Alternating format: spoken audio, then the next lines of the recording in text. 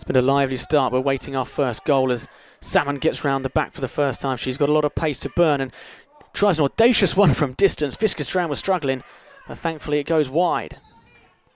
Salmon has been very lively in these opening exchanges, finds a little bit of room to work with, still looking to get herself that first attempt on goal, and it is a tame effort in the end. Plenty of blue shirts to aim at here. Delivery needs to be a good one. It's whipped in towards that near post. It's not properly dealt with it. Could fall to Haroon here, and that shot is just dipping, but not dipping enough.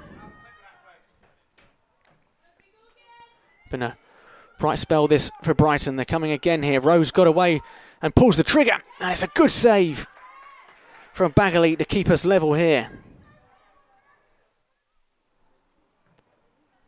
Plenty in there.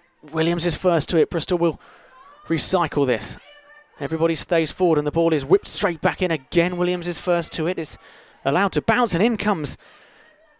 It was uh, Yana Daniels who nipped in. Bristol still playing with plenty of energy. Salmon is the most dangerous player on the pitch, and she's got away here inside the area. Could be the opening goal. It's off the post.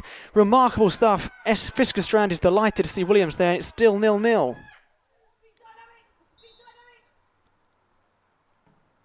Ball whipped in towards the area. It's again Williams who's involved. Ball is pinging around all over the place. It's acrobatic stuff. Williams with the chance. And it's a comfortable save for Sophie Baggaley. Both sides full of energy. It's the beauty of the FA Cup. Everybody knows you only get one chance as Jarrett comes forward. Plenty of support to the right hand side, takes it on her own. And it's an easy save. Referee Saunders just sending her back there, just stealing a few yards. Good spot from the referee. Had a good game so far in the middle as we still look for that first goal approaching the hour mark now. Can Brighton fashion something here? Simpkins is free and she's away. It's a great opportunity to get them ahead, but it's going to be a penalty. I think it has hit the arm. I think it's Naomi Layzell, the substitute who came on at half time, is adjudged to have handled the ball. The referee was quick to blow the whistle, and as we were saying on the on the hour mark, it looks as though we're going to have our first goal. It will be Inessa Kaagman, and it's a eighth goal of the season, sending Baggaley the wrong way. It's a very composed left-footed penalty, nothing the keeper could do, and Brighton have the vital goal. Bristol City still trying to get themselves back on level terms here. Plenty to aim at. One of them is Humphrey, and it's a good block.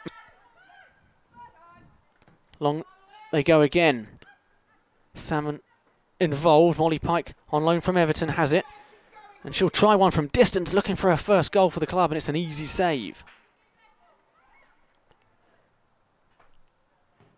Kaagman sends that one into the air, and it's a decent header from Le Tissier, but it goes over the bar.